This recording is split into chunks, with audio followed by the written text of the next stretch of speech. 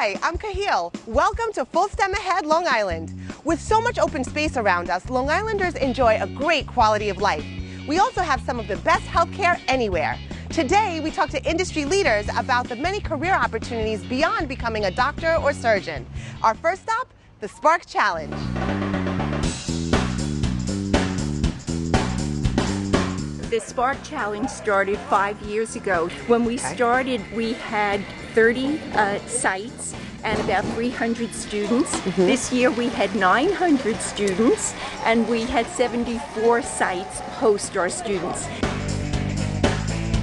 In the fall, we invite students to get a behind the scene look where they come in for at least a half day and they learn about clinical and non clinical careers. They've had experiences where they were on the Sky Health helicopter, they saw traumas, everything we have to offer because we literally have thousands of mm-hmm. job descriptions. The second half, we ask them to go back and create a poster based on mm-hmm. one of the careers that they learned about and then give a two minute presentation at our event today. We got placed with the Orzac Center for Rehabilitation, and for our poster, we wanted to focus on how nurses can come in contact with a variety of patients and how they have a different bond with each of them. And especially in a rehabilitation center, they are constantly motivating them every single day to continue with their treatment.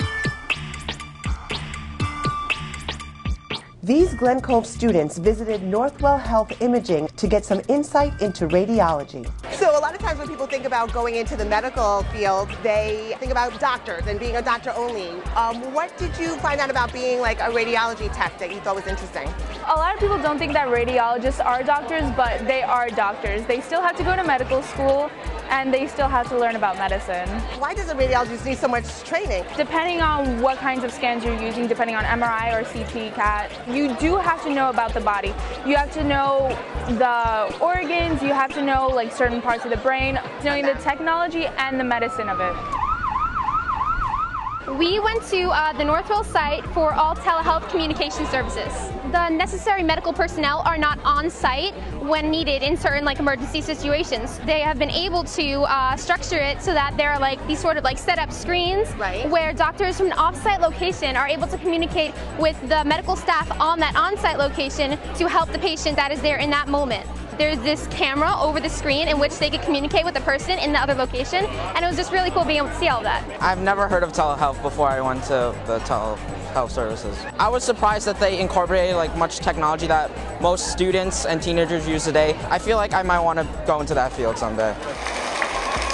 We went to the corporate office of uh, the CIO, Chief Information Officer. Even though it is um, a healthcare industry, right, we also discussed um, cybersecurity. So just everyday interactions between the patients and the doctors, innovations such as apps where you can um, schedule appointments, really anything where information is stored, all have to do with cybersecurity. I saw a presentation on telehealth. Is that an area where cybersecurity could help? Yeah, of course. You want to make sure anything that's said, um, which is private, of course, Right. Um, and has to do with one's personal health, um, stays safe over this line. This is spectacular. If you look around the room and you see the enthusiasm, this is what this is all about. Exposing people to what goes on in healthcare Yeah. that they would never otherwise have the opportunity to see.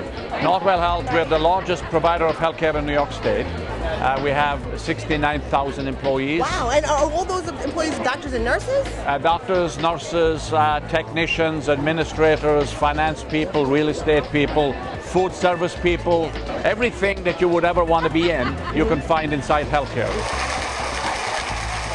These students are really excited about a future in healthcare.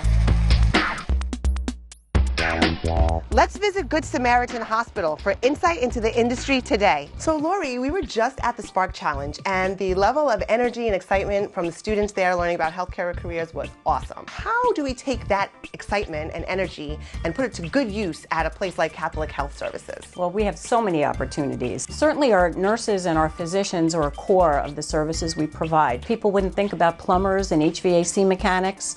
Um, our people who work in public and affairs and communications, all those things are part of our village. Do you have any programs or events that uh, could help high school students, for example, learn about the different careers uh, in the healthcare industry? Well, we always encourage students to consider our volunteering program. Okay.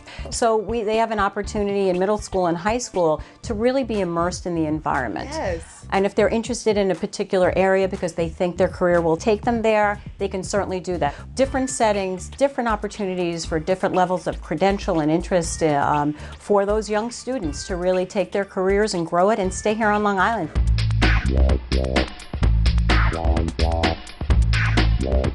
Well, it doesn't take a brain surgeon to see the many amazing opportunities on Long Island. If a career in healthcare is what your doctor ordered, visit listemhub.org and call us in the morning.